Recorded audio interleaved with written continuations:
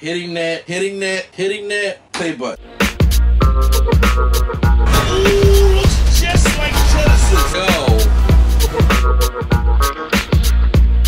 Banjo Kazooie. Sensei, to be chill, Fat Go on YouTube, place to be chill, trying to be back with some more. Fat React. So we got a Suicide Squad sneak peek for y'all. So uh, I don't know if it's a trailer. We already got the roll call, but it's gonna be an exclusive. This DC Fandome's exclusive sneak peek. So we gotta check it out. I'm excited for it. Uh, the Suicide Squad movie, like I said, I, I'm liking the way D, the DC has been going in the, in the recent years. So start off a little rough, but but let's get into this. All right, hitting that play button, especially since James Gunn is I directing think it. it's going to surprise people. You kind of sit there and go, how did they do that? It's gonna be a different shitload from any of stuff. superhero movie ever made.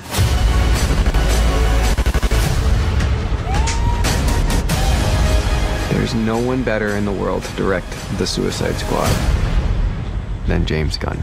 I agree. I was agree excited with with an opportunity to be able to do the Suicide Squad in the way it could be done from my point of view. This one is completely unique. This is a gritty 1970s war movie combined with brilliance of James Gunn's characters and comedy. You need your director to set the vibe. The Suicide Squad is just a twisted fantasy of characters. Within each of our characters, there's a certain beauty. Within most of them, some of them are just pretty crappy You through know he and had through. Do that. Be like a douchey Captain America. The guy who believes in peace at any cost, no matter how many people he needs to kill along the way. Douchey Captain America. Okay, I got it. It seems like I'm Don't ever cool settle back like you think you know where this is going, because you don't. As soon as you have some sense about what's about to happen next, James comes in. Everyone's exploding genitals, heads, arms, legs.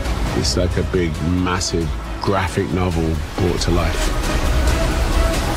This is by far the biggest movie I've ever made. I don't think that you know what to expect. Don't get too attached. I'm so glad that This has been she's back as truly Amanda Waller. I'm the so greatest, glad. most exciting journey of my life making this film. Cut. That was great. Yeah, so this got to be a th- th- this. I wonder if it's a sequel to the original because, like I said, because I know the Harley Quinn movie was a sequel to the regular Suicide Squad movie, which I like better than the Suicide Squad, but a lot of people may not. But this one looks like a sequel to that, so I'm curious to see how it's going to go. But I'm excited for it. And James Gunn doing it, I think he's going to give that that Suicide Squad edge that they really needed, opposed to how David Ayer did the first one. So post a comments down below if you guys excited for the Suicide Squad.